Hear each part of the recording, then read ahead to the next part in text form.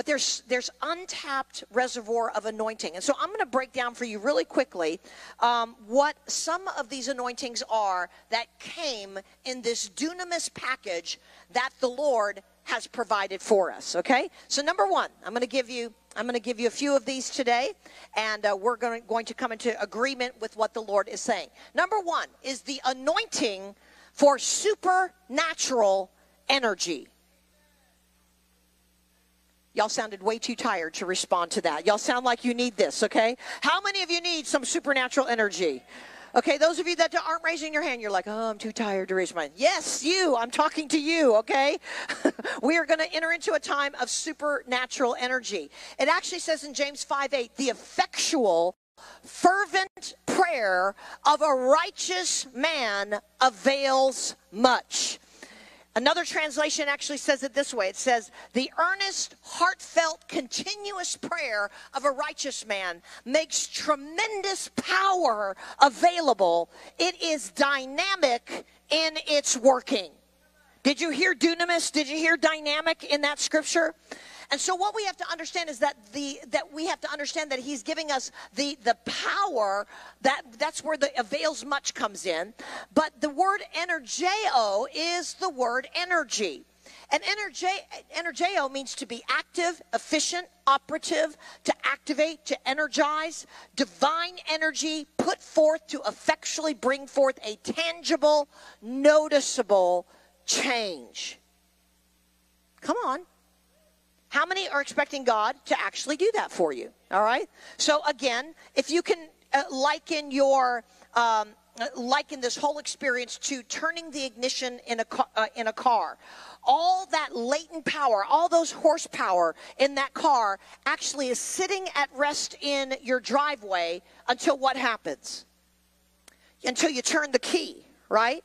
So what is the key? The key is the word and the spirit of God in our mouth. So when we open our mouth and we start speaking God's word, we start praying in the spirit, we start worshiping, we start declaring, we start praying, then that that word coming out of our mouth is the key that begins to unlock and generate the power so that the engine can roar. So I want you guys to stand to your feet with me and we're going to make some decrees. We're going to do this throughout throughout my message because I think that we need to actually say what God is saying. Psalms 81 verse 10, we're in the year 81 on the Hebrew calendar. Psalms 81:10 actually says, "Open your mouth with a mighty decree. I will fulfill it now. You'll see the words that you speak, so shall it be." I want to remind you, you don't even get saved by just believing something in your heart. Come on, it says, if you'll confess with your mouth the Lord Jesus and believe in your heart that God raised him from the dead, then you'll be saved. So, how many believe that what I said is true? How many believe that in your heart? So, we're going to open up our mouth and we're going to say this together. Say this with me I am filled with superhuman energy and strength. Pray loud with me. Say it loud with me. Decree. My body is strong. My eyes are open. My mind is sharp. And my spirit is ready to step through every door of favor and influence God opens for me. I will activate my spirit language and ignite the fire of God within me as I open my mouth and pray. I am full of life and energy. My immune system is coming alive to thrive. I am a fireball, a generator of life and miracles. I will run and not be weary. I will walk and not faint. I am fully energized to accomplish my calling.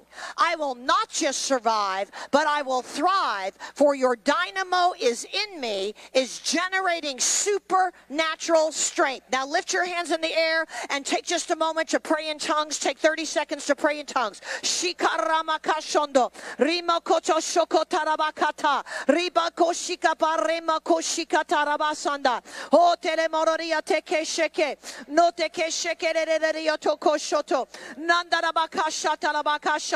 nandarabakashata labakashanda, no to koshoko toreberia takashanda, me loloria sheke barabashanda, ho takashanda labakashanda. Hallelujah, hallelujah. Give the Lord a, uh, just a shout of praise. Whoo! Amen. Amen. You can be seated. Okay, that's point number one. All right, point number two. We're going to get everything God has for us on this Pentecost Sunday. Number two, the anointing of explosive power for harvest. I believe in this season we need to be praying not just for harvest, we need to be praying for harvesters for the harvest. Jesus said, Pray that the Father, the Lord, would send out harvesters. He didn't say pray for the harvest, he said pray for the harvesters. You know what God's saying? He's saying that we need to get a harvester mindset. Because you know what? How many have ever lived a place where there's like cornfields? How many have ever lived a place where there's wheat fields?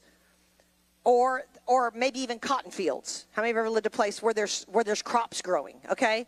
I've always lived in suburbia, so not necessarily, but I've seen them, okay? But you know what? Never in my life have I seen a field of corn bundle itself and jump into the truck. Never in my life have I seen a wheat field bale itself and load itself onto a truck, right? Why? Because it always takes a harvester to bring in the harvest.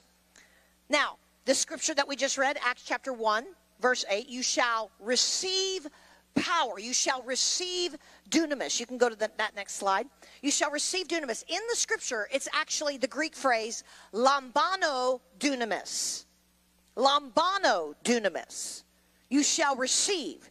Now, here's how most of us feel like lambano, that word receive, looks. Now, I love this part of receiving from the Lord, but this is not the word that is used in this passage.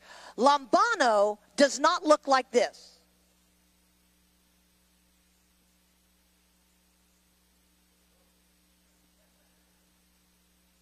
Okay, it's not passive. Lambano actually means to aggressively go after and pursue, to lay hold of something, to seize it, to possess it, and to make it your own. So, if you will, lambano looks like this. Do this with me. Come on. We're going to lambano the dunamis power of God. Do it again. We're going to lambano power. Amen. Why? So that we can go be his witnesses. Okay, so that we can begin to go and spread the gospel. Jesus knew that the church was going to need Holy Ghost empowerment if they were going to go out and change their world. And the disciples were actually known as these are those who have turned the world upside down. They changed everything, all right? This, you know, what's interesting is that this word dunamis is like the word dynamite. It's the same Greek word that we get the word dynamite from. How many know that dynamite blows things up? If you're trying to build a, a road through a mountain, or a blockage, what you need is some power. What you need is some dynamite to blow away the blockage of religion, the blockage of unbelief, the blockage of atheism and agnosticism and skepticism, the, the blockage of idolatry. The, uh, come on, there's a power that comes in and blows things up. And when we're filled with the Holy Ghost, we've got that inside of us wherever we go. I don't mean go start walking around. Y'all understand, I'm not talking about you guys going and actually physically blowing things up, right? I'm talking about being able to remove the walls that keep people from receiving.